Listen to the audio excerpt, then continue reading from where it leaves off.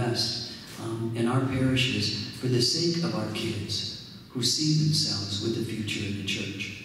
So, um, and regarding stickering and all that, I have been at more than one meeting where there was a solitary voice that spoke up in a way that nobody else had spoken.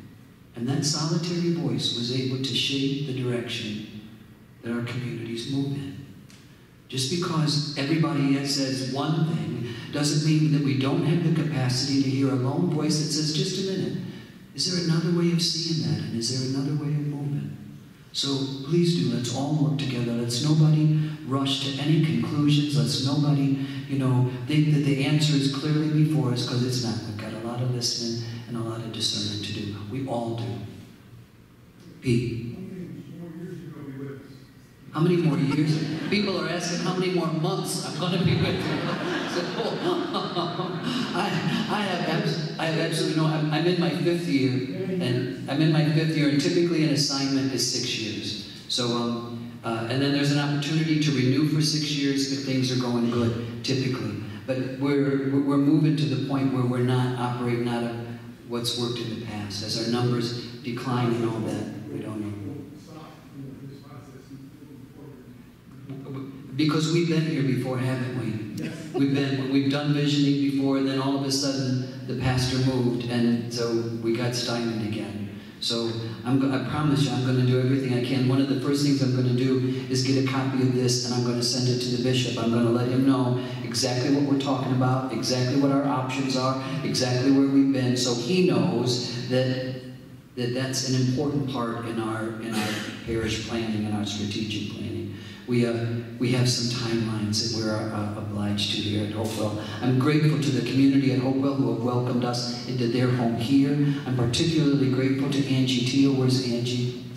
Angie, I'm particularly grateful to you for your kindness. You're kind of like the hostess today. So you helped us with everything that we need, and you always do. Please join me in giving Angie and me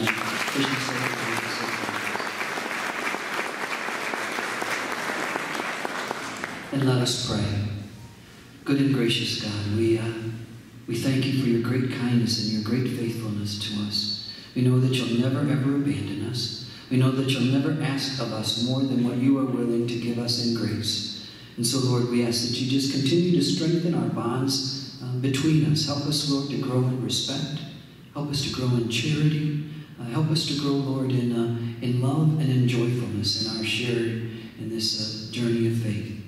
Uh, we ask, Lord, that um, you open up the pathway before us.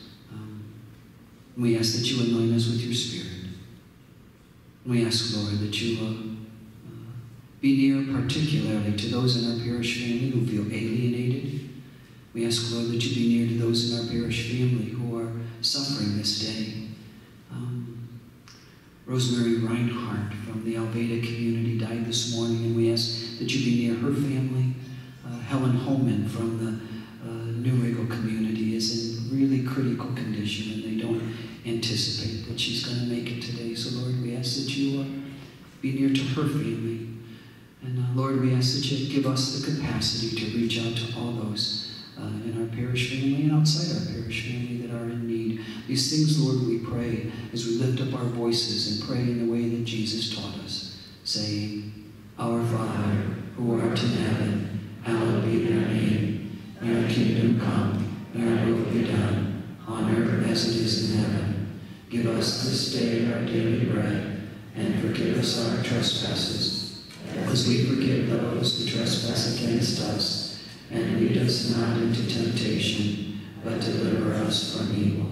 We ask for Mary's intercession during this Jubilee year of mercy as we pray. Hail, Holy Queen, Mother of mercy, our life, our sweetness, and our hope. To you do we cry, poor banished children of Eve. To you do we send up our sighs, mourning and weeping in this vale of tears. Turn then, most gracious advocate, your eyes of mercy toward us, and after this our exile, show unto us the blessed fruit of your womb, Jesus. O clement, O loving, O sweet Virgin Mary, pray for us, O Holy Mother of God, that we may be made worthy of the promises of Christ. The Lord bless us all, Father, Son, and Holy Spirit. Amen. As we leave, why don't we turn to those around us and share a sign of peace?